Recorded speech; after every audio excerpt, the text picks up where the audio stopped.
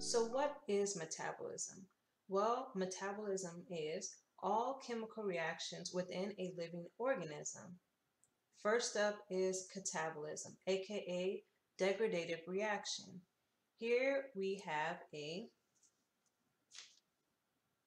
complex molecule. Now this complex molecule in catabolism is broken down into simpler molecules.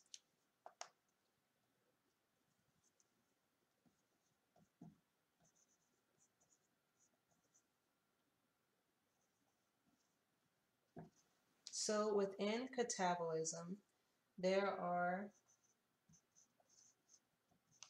hydrolytic reactions.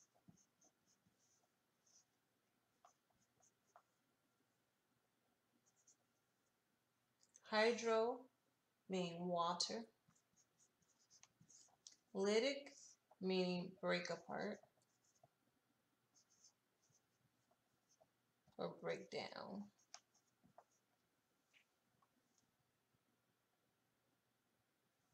So it's the breakdown of water. So we have our water.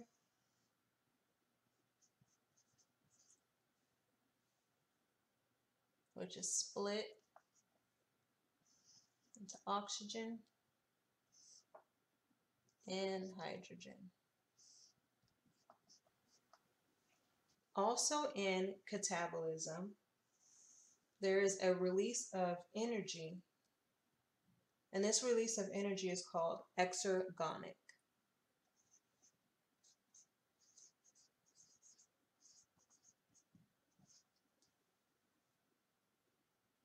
Exer, X, I think of exit.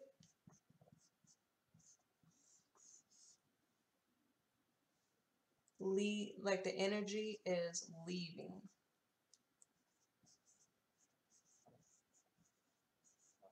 the energy is released. So I'll give you an example.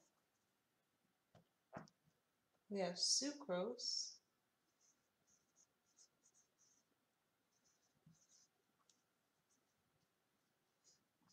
And the enzyme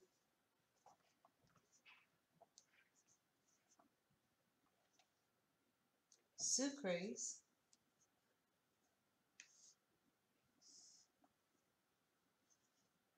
So we have our substrate, our enzyme, and we know that this is an enzyme because of the ending ase.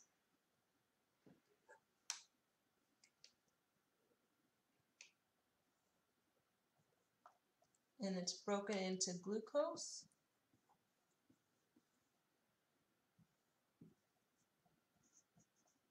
and fructose. Here, water is added in.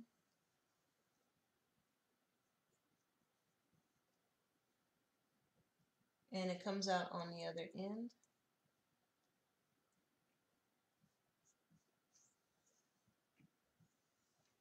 Here.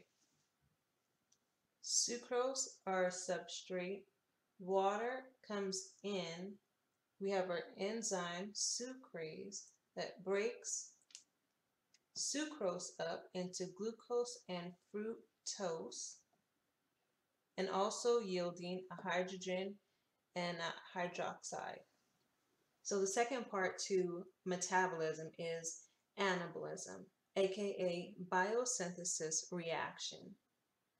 So anabolism is completely opposite to catabolism. Here we have simple molecules.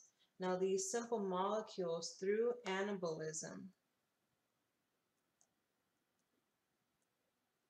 become one large complex molecule.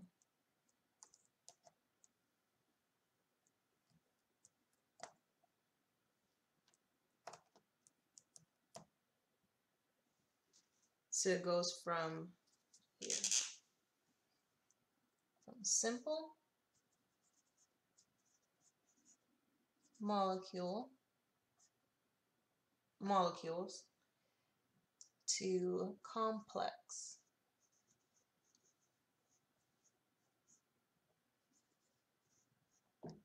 complex. So in anabolism, there is dehydration synthesis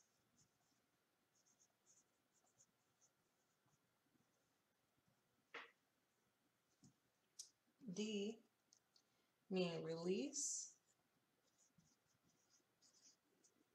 hydration, water. So it's the release of water.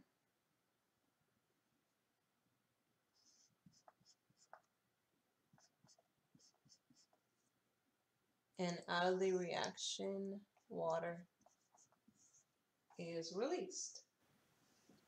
So the second part to metabolism is anabolism, aka biosynthesis reaction.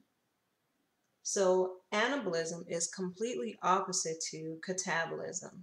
Here we have simple molecules. Now these simple molecules through anabolism become one large complex molecule.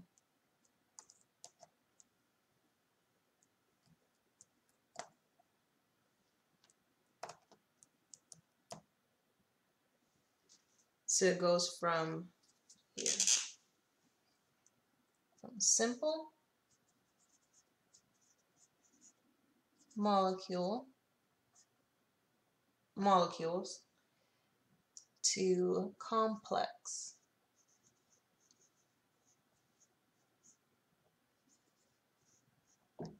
complex molecules.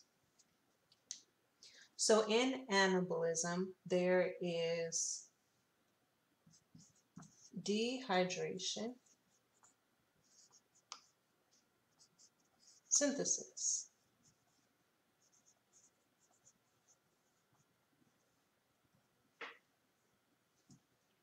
D meaning release, hydration, water. So it's the release of water.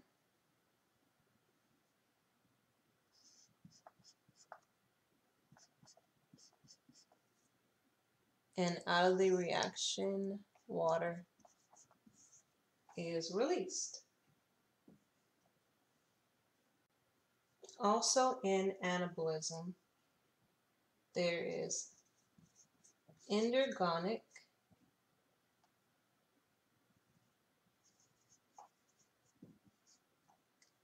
reactions. And ender, I think of in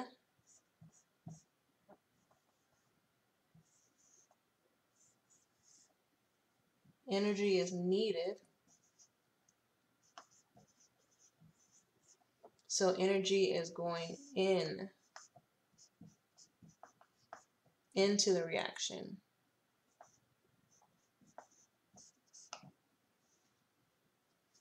Here's some examples.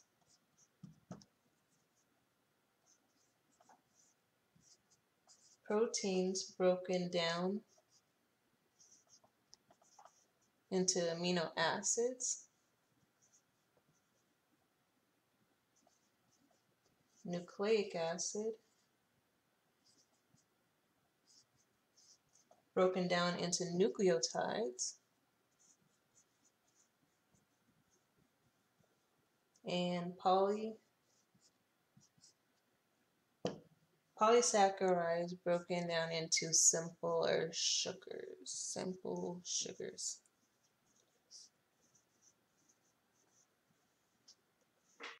So what's an easy way to remember catabolism and anabolism? You have catabolism.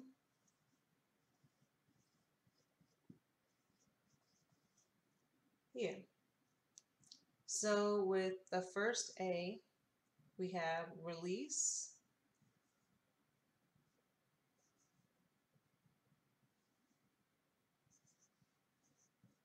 And with the B, breakdown.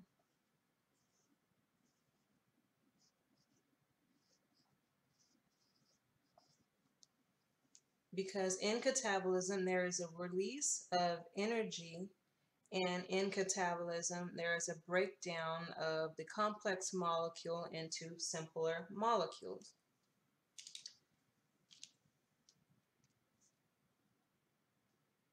So with anabolism,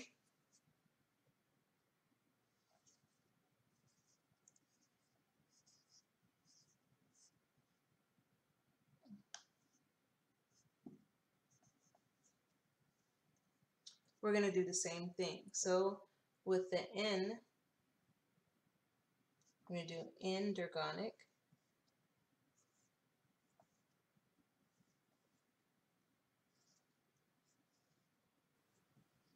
And with the B, build. So with anabolism, you have endergonic, endergonic, remember N energy is going in into the reaction. Then we have build. In anabolism, remember that we have many simple molecules that are being built into more complex, larger molecules.